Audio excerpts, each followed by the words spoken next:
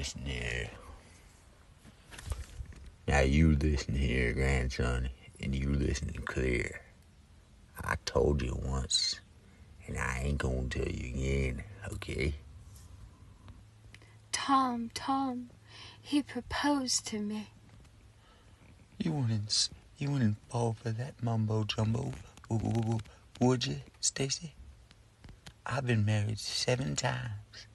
I know what I'm doing. I mean, you tell him to march on down over here. I'm gonna tell him to pick that clubhouse on down the road. Yo, Grandpa, Grandpa, guess you just moved in the hood? now you take that pretty little wife and that pretty little girl and that pretty little mouth you got on down the road with that goddamn clubhouse. You must focus on the future, me boy. Never look back. You must tell them to take their clubhouse and shove it up the ass.